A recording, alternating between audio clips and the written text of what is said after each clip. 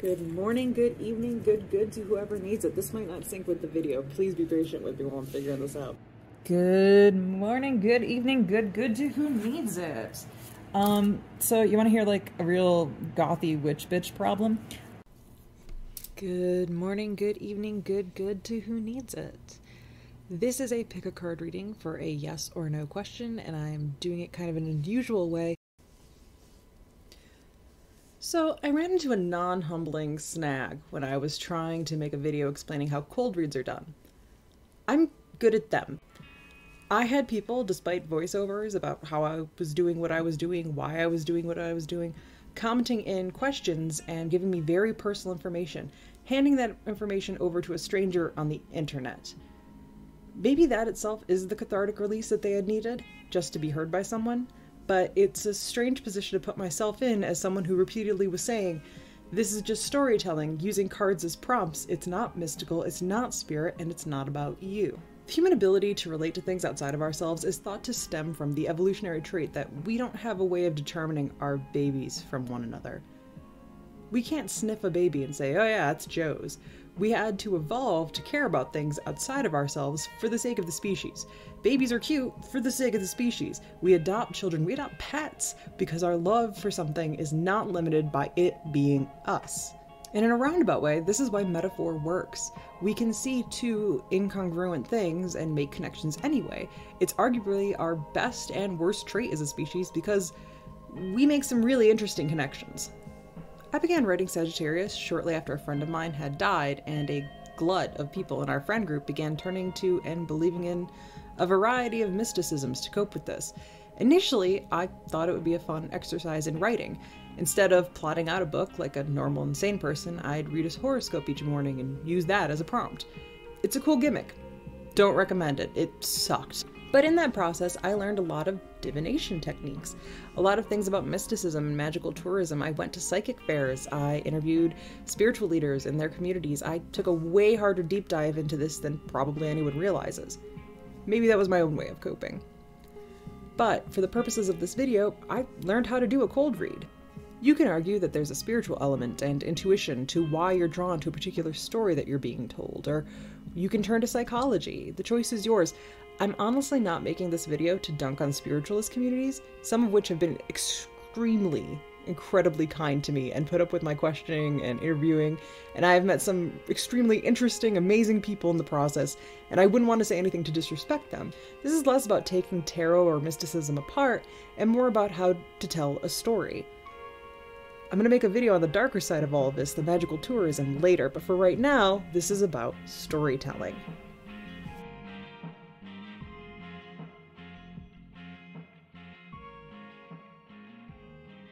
Um, so you want to hear like a real gothy witch bitch problem? I decided I was going to do a pick a card today and show you guys kind of how to do a cold read that way. And uh, so I've seen a lot of pick a cards. You may have seen them as well on internet.com somewhere that have the option of picking a crystal and that crystal is going to be associated with the deck of cards and that's supposed to be the energy that's imbued on there. And um, my witch bitch problem is that I couldn't find my really big gypsum rose this morning.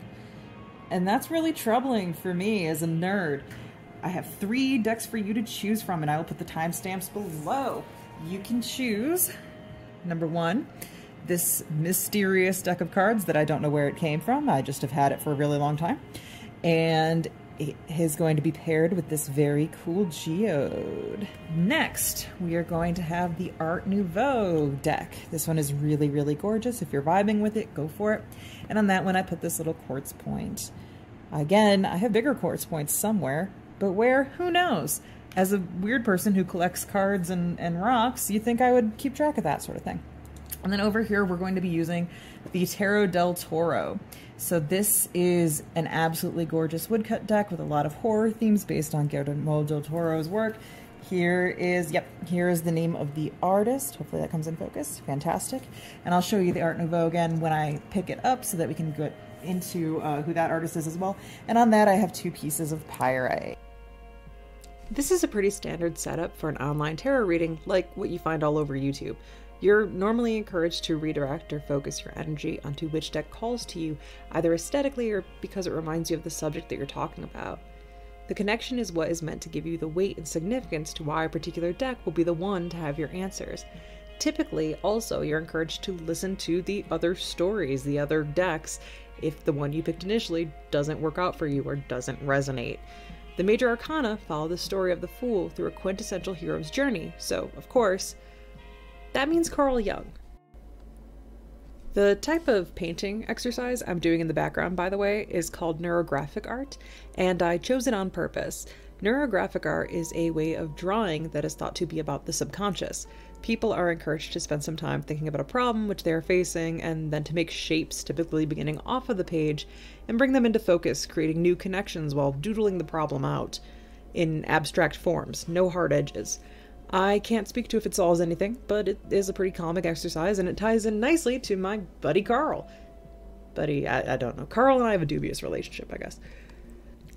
Arguably, Jung's most significant contribution to psychology is the concept of individuation, the process of differentiation between internal and external parts of the self. This lives on pretty fiercely in internal family systems therapy today. In every fantasy, a grain of truth, hence, the connections we are able to make to stories. Jung asserted that most of the self are stories which we tell ourselves from different perspectives, and those perspectives clashing results in interpersonal struggles. We are influenced by microsystems, mesosystems, exosystems, macrosystems, and chronosystems. IFS, and any practitioner who has worked in IFS can attest, you do eventually find the self buried in all of the different realms of influence. At the end of the day, there is a you, but it can be tucked in there pretty fucking tight. Jung pursued the idea of archetypes, which has its pros and cons. Jung had been mentored by Freud, and Freud kind of put all of his eggs into that basket, thinking Jung would be the future of psychoanalysis. And importantly, Jung was a Christian, which meant less friction for him in the scientific societies that Freud had faced as a Jew. However, Jung broke away from the theories of psychosexual development and focused instead on the unconscious, and he also made some anti Semitic remarks that got him turned away from these psychoanalysts. Jung saw himself as slighted by them for his dissenting opinions and went on to form independent theories. Jung saw Freud's view of the unconscious as incomplete and wholly negative. Personal unconscious and collective unconscious were terms coined by Jung referring to the integration of archetypes into the sphere of influence on the self. Archetypes, or primordial images, were stock concepts that Jung believed belonged in the collective unconscious. Basically, these are universal concepts that anyone can relate to, but Jung took it a step further from concepts into defined stock characters, concerns, and stereotyping. The existence of the collective unconsciousness, in his theory, means that individual consciousness is not a blank slate, but is influenced by predetermination. This is where a lot of pseudoscience creeps in. None of this can be empirically examined and sounds more like philosophy than psychology. That was the nature of 18th century psychology in its beginnings when they weren't sure how to study it. And a lot of people have taken hold of these concepts and run in just about every direction with them. One direction being Joseph Campbell's hero's journey.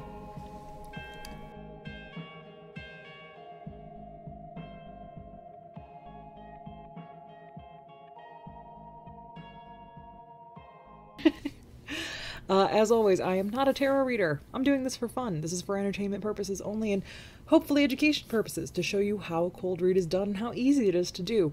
So let's see what story I'm telling you today. If you wanted a yes and therefore chose the Tarot del Toro, we're doing a divination style card spread and I've pulled out Eight of Swords, Four of Swords, Queen of Cups reversed whoa, uh, I don't think you're going to get your yes. The monomyth is a common template for stories involving a hero setting out on an adventure who is successful in a quest and comes home after undergoing a fundamental change. One which means that the hero never truly returns home because while home is unchanged, the hero has undergone a metamorphosis born out of a decisive crisis. This hero myth pattern was popularized by Joseph Campbell in his work Hero with a Thousand Faces, heavily influenced by Carl Jung, though similar concepts had been pointed out by anthropologists and even psychoanalysts beforehand. The concept of the monomyth is one that gets a lot of heat from folklorists because it relies heavily on confirmation bias. essentially arguing that people who want there to be archetypes in stories go looking for them and just ignore the things which don't fit their desired pattern. Most people today take Hero with a Thousand Faces for fact rather than an option, and it's always really delightful when you're in a writing workshop and you see someone light up when they realize that they don't have to do that. The term monomyth was actually lifted from James Joyce's Finnegans Wake, and this concept is better known popularly as the hero's journey. The hero's journey is relevant to our purposes, as is all this background information I've given, because the major arcana in the tarot deck each represent a segment of this proposed journey, and the storytelling elements of how tarot cards are read fall into the same narrative arc as the monomyth. The story told in the major arcana begins with the Fool, the starting point, which is why he is the zero card. The Fool represents person starting out on the journey, the person who is an innocent and is just biding their time, not yet embroiled in the conflict of the story. The first card is the Magician. This is a person balancing as above, so below. Their whole idea is that they are pointing both up and down. They have the tools in front of them. So, this sometimes is taken to represent the fool being given the tools in order to begin this journey, or sometimes it's interpreted as the divine masculine, the ability to take charge and begin the journey. This is combined with the fact that the third card is the High Priestess. This represents the divine feminine. These are two aspects of the Fool the, the High Priestess and the Magician. Conversely, the two cards that follow, the Empress and the Emperor, are considered the parents of the Fool. They are the foundation.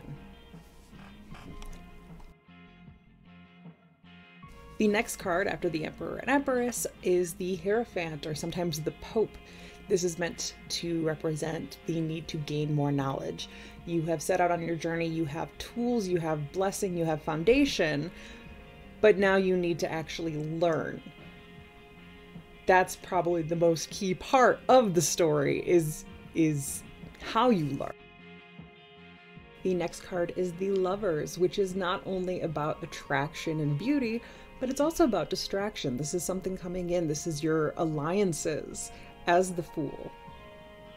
In some decks, the lovers are meant to represent Adam and Eve, so this is also a point of conflict. This is where that knowledge that you gained as the Hierophant, or from the Hierophant, is now causing an awakening. The card following the lovers is the Chariot this represents taking that information, taking that awakening, and choosing your direction, your path forward now that you have this new goal or this new perspective. The card that follows this is Justice. This is not only choosing a path, but making a decisive action about it. It is standing in judgment. This has both positive and negative connotations and leads into the Hermit. You have gone through so many transformations already that have been kind of earth shattering. You have gained new knowledge, you have gained new understanding of self, you have gained an awakening, and you have taken actions. But now it's time to kind of slow down, hunker down, and really focus on yourself. You are the hermit. You are the hermit becoming the Hierophant.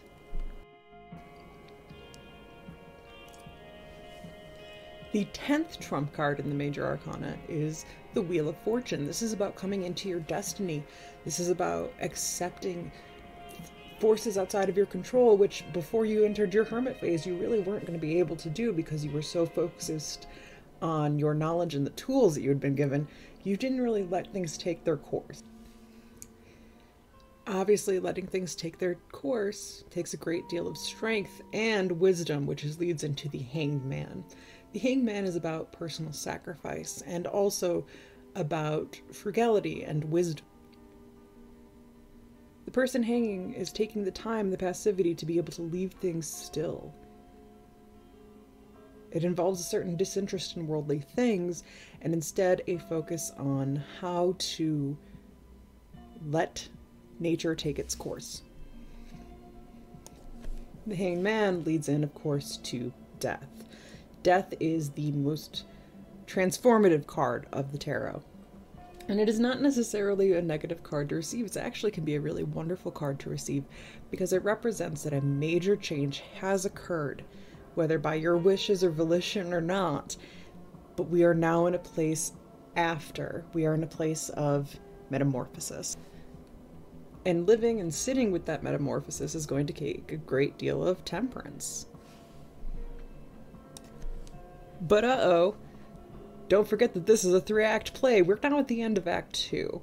So we've undergone our major metamorphosis, but now we're facing the devil. We're facing the threat that we didn't realize was the threat.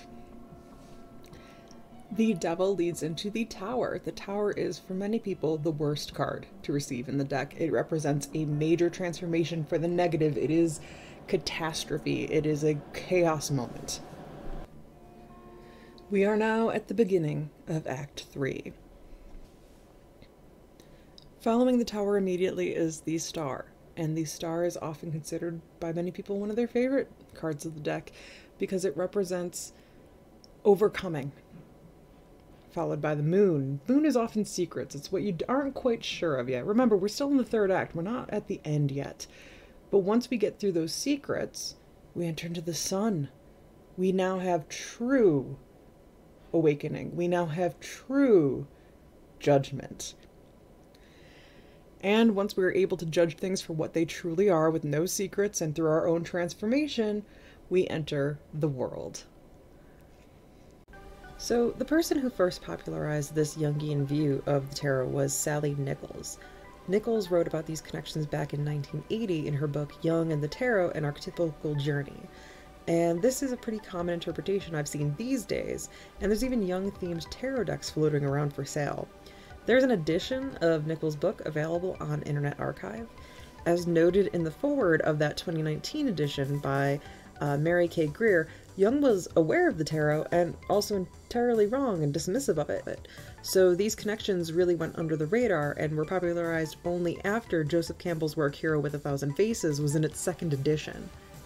Campbell's popularity exploded with a six episode documentary series, Joseph Campbell and the Power of Myth, which ran in June 1988.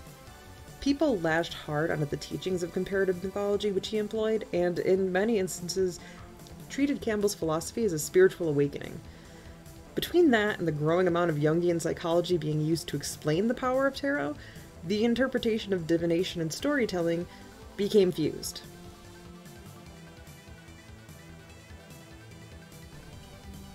Look at him. Look at how happy he looks. This is Antoine Court, who is believed to have initiated the interpretation of tarot as esoteric in 1781. It was his interpretation upon the first time he saw a tarot deck, allegedly, that he immediately believed it to hold the mysteries of ancient Egypt. Mm. Egypt break.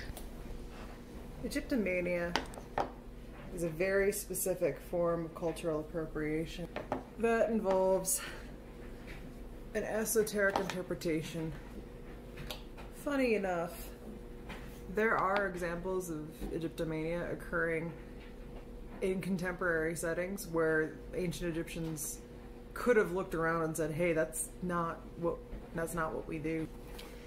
Egyptomania refers to a blend of appropriate uses of motifs and bizarre interpretations made by people who are doing the appropriation of ancient Egyptian cultures. Do we like it down? So, Egyptomania is often esoteric in nature. It's often assuming a cultural standpoint that the Egyptians had some sort of secret knowledge, and that's why they stand out in the ancient world from other cultures so much. One of the earliest examples of Egyptomania that I'm personally aware of uh, was Emperor Hadrian having an obelisk commissioned.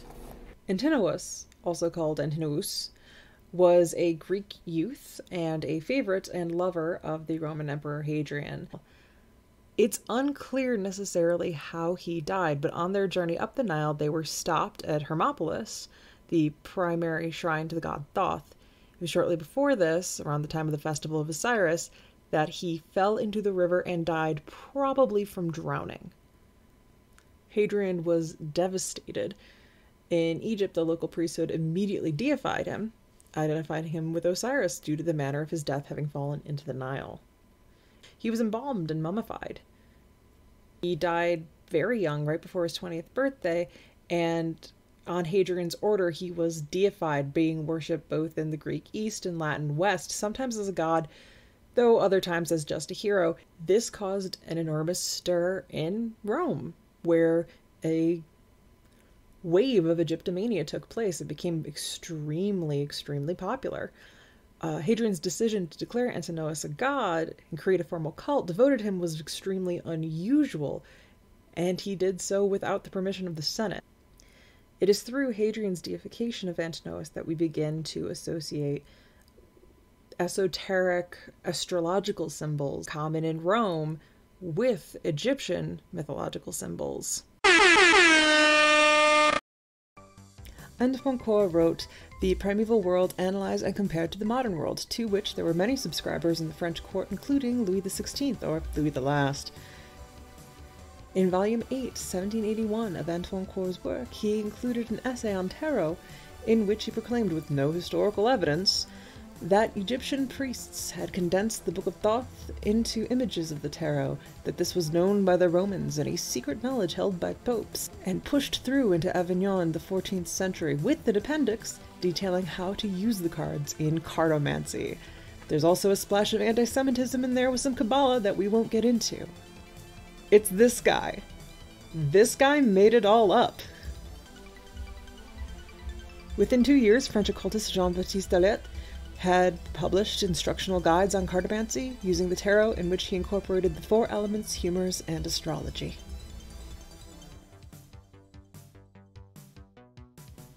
So, what did I learn from all of this, except for reinforcing European history's hard on for turning ancient Egypt into the occult? Is it diminished by the fact some French guys pulled it out of their ass? It's important to remember Jung and Campbell didn't talk about tarot. Jung thought of it as something Spanish G slurs came up with, Campbell was more interested in stories that already were, not making new ones with a card trick. The idea of archetypes and storytelling, comparative mythology, and common themes and cycles exists independent of tarot's history, and it wasn't until the 1980s that I was even able to find any sources connecting the two. Just because the story, the esoteric history of tarot might be completely fabricated, it doesn't mean that the human brain isn't wired to relate to stories. Tarot resonates with us because stories do. The cards help you to tell a story. Fuck it, use the cards. For more information on this topic, sources, and other content, please look at the associated blog post on aliactast.com. That's A L I A C T A S T.com. The blog updates with weekly book reviews and essays on Saturdays. If you liked this, like it and share whatever you feel you gotta do. There are monthly video essays the last week of every month, and a plethora of random shit in between. Thank you so much for listening.